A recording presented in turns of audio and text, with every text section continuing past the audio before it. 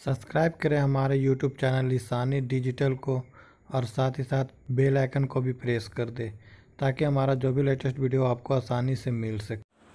Hello everyone स्वागत करता हूँ आपको हमारे यूट्यूब चैनल ईसानी डिजिटल में। जैसे कि प्रीवियस वीडियो मैंने आप लोग को बताया था कि विनवर्ड में इंसर्ट मेनू के अंदर टेक्स्ट बॉक्स को कैसे क्रिएट किया जाता है और क्विक पार्ट्स को कैसे ऐड करते हैं।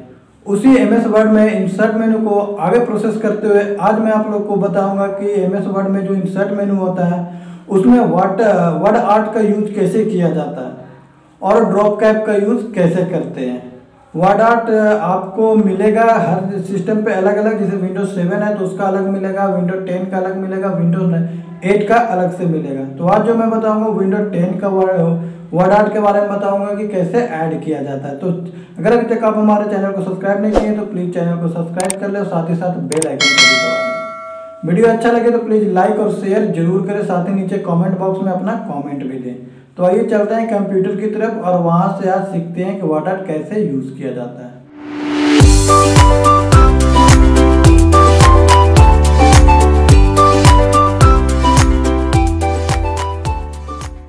के अपने कंप्यूटर स्क्रीन के पास और आज सीखेंगे यहाँ पे कि एम एस विनवर्ड में जो इंसर्ट मेनू होता है, उसमें वर्ड आर्ट को कैसे यूज़ किया जाता है, ड्रॉप कैप को कैसे यूज़ करते हैं।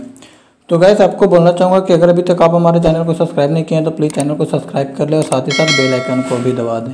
गैस आप लोग के रिगार्डिंग जो मैंने एप्लीकेशन बनाया है ईसानी यूट्यूब और ईसानी कंप्यूटर टेस्ट के नाम से, वो दोनों एप्लीकेशन आप डाउनलोड कर सकते हैं, उसका लिंक नीचे डिस्क्रिप्शन बॉक्स में आपको मिल जाएगा।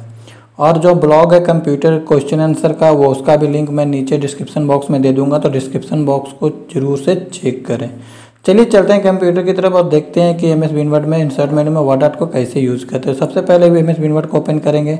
जैसे कि देखिए, मैं इस चीज़ को यहाँ पर नोट आउट कर रखा हूँ तो मैं इसको ऊपर कर देता हूँ, ठीक है? अब मैं आपको बताऊँगा कि वर्ड का यूज़ कैसे किया जाता है। तो सबसे पहले उसके लिए आपको जाना होगा इंसर्ट मेनू में। जैसे कि मैं आप लोग को बता रहा हूँ, देखिए ये इंसर्ट मेनू है। इसमें जाने के बाद आपको करना, जाना कहाँ पे इंसर्ट मेनू पे क्लिक करना है। जैसे आप इंसर्ट मेनू पे क्लिक करेंगे, आपके सामने इस प्रकार से इंटरफेस आ जाएगा। इस प्रकार से इंटरफेस आएगा। इसमें से आपको सेलेक्ट करना, जो आपको यूज़ करना आज मैं बताऊँगा, वो है वर्ड आर्ट और ड्रॉप कैप ये दो चीज़ के बारे में आपको आज बताऊँगा। तो चलिए, सबसे पहले ये जानते हैं कि वर्ड आर्ट होता क्या है। तो गैस मैं आप लोग को बताना चाहूँगा वर्ड और आर्ट दो शब्द मिलकर बना हुआ है। वर्ड में आर्टिंग को देने के लिए वर्ड आर्ट का यूज़ किया जाता है। यानी अगर आपका जो भी वर्ड है, उसमें आप कुछ डिज़ाइन देना चाहते हैं, उसे स्टाइल में लिखना चाहते हैं, उसके कलरफुल लिखना चाहते हैं, कोई भी चीज़ का, अपने नाम या कोई भी जो आप ऐड करना चाहते हैं वर्ड में तो उसके लिए यूज़ किया जाता है। तो सबसे पहले मैं उस पर क्लिक करूँगा तो देखिए अब जैसे ही मैं क्लिक करूँगा, यहाँ पर आपके ऑप्शन बहुत सारे दे रहे हैं। जैसे कि ये ब्लैक में दे रहा है, इस प्रकार से। वैसे ये मैं आपको एक चीज़ और बताना चाहूँगा कि मेरे पास विंडो टेन है, इस कारण से ये आपका इस प्रकार से शो कर रहा है। अगर आपके पास विंडो सेवन या विंडो थ्री रहेगा तो वहाँ पे आपके डिज़ाइन शो करेगा लिखा हुआ। यहाँ पर जैसे ए ए ए करके लिखा हुआ है ना कलर बाई कलर उसी प्रकार से वहाँ पे भी कलर बाई कलर रहेगा बट लिखा रहेगा वर्ड आर्ट वर्ड आर्ट करके। ठीक है गाइस तो चलिए मैं पहले चेक कर लेता हूँ कि इसमें डिज़ाइन कैसे कैसे होते हैं। सबसे पहले किसी में भी आपको एक पे क्लिक करना होगा, जैसे कि मैं इस पर करता हूँ। इस पर जैसे मैं क्लिक करूँगा, आपके सामने इस प्रकार से एक इंटरफेस खुल जाएगा। जैसे कि आप देख रहे होंगे यहाँ पे यहाँ पे लिख रहा है इंटरव्यूर टेक्स्ट यानी यहाँ पे आपको लिखना है जो भी लिखना हो। जैसे कि मैं लिखता हूँ, जैसे यहाँ पे मैं ईशानी डिजिटल लिखता हूँ।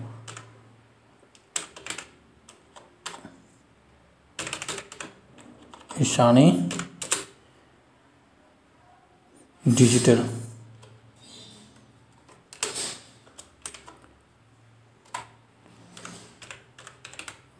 जैसे कि मैंने यहाँ पे लिख दिया ईशानी डिजिटल ठीक है, अब मैं इसे चाहूँ तो थोड़ा नीचे भी ला सकता हूँ ड्रैगिंग करके।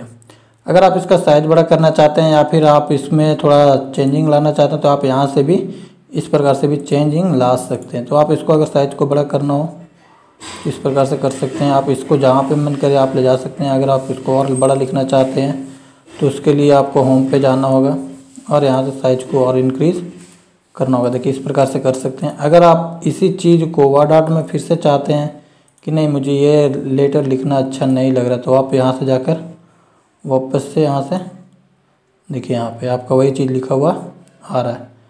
तो आप इस प्रकार से नए नए डिज़ाइन को क्रिएट कर सकते हैं। जैसे कि मैं दोनों को डिलीट करता हूँ, आपको वापस से फिर से बताता हूँ।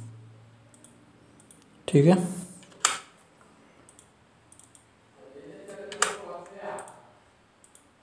प्रकार से मैं डिलीट कर देता हूँ इसको, इसके बाद इंसर्ट पे जाऊँगा वर्ड आर्ट पर क्लिक करूँगा। मैं चाहता हूँ कि इस प्रकार से लिखी ताकि मुझे नीचे भी शो करे, जैसे कि आप देख रहे होंगे, ये देखिए। इसके नीचे साइड में भी आप देख रहे होंगे यहाँ पे कि शो कर रहा है। मुझे भी इसी प्रकार से लिखना है तो मैं लिखूँगा ईशानी। ईशानी डिजिटल इस प्रकार से मैं लिखूँगा और इसमें साइज़ को बड़ा कर दूँगा मैं यहाँ से। आप चाहें तो यहाँ से भी ले सकते हैं, इसमें से भी डिज़ाइन चेंजिंग कर सकते हैं आप। ठीक है गैस मैं इसको थोड़ा और बड़ा कर देता हूँ। ये देखिए, ये हो गया। साइज़ में थोड़ा और इंक्रीज़ कर देता हूँ इसका।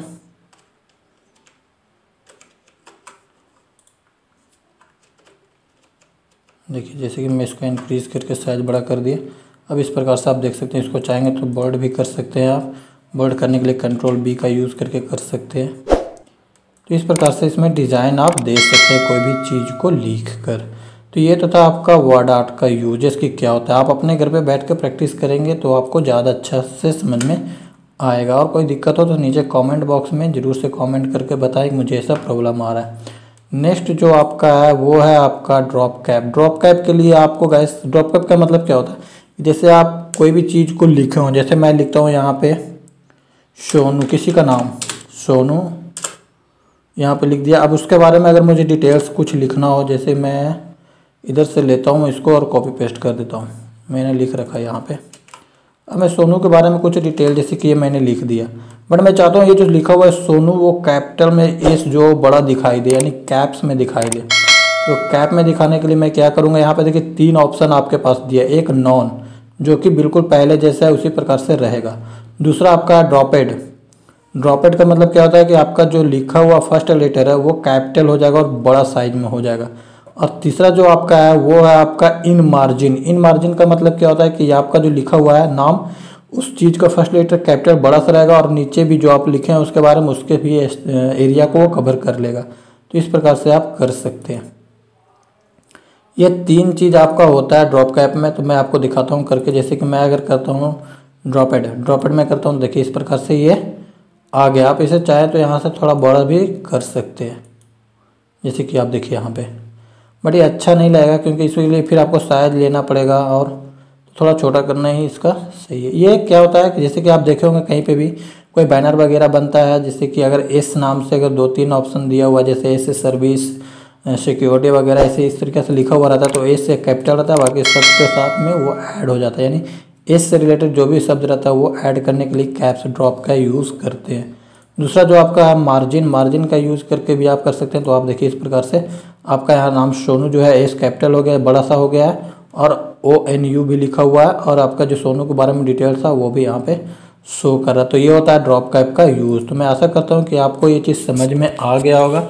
अगर आपको समझ में आ गया तो प्लीज़ आप हमारे चैनल को सब्सक्राइब कर दें और शेयर करें और लाइक करें और बेल बटन को भी दबा दें। तो मिलते हैं नेक्स्ट वीडियो में कुछ और भी प्रोसेस को लेकर इंसर्ट मेन्यू के लिए। तब तक के लिए थैंक यू सो मच धन्यवाद।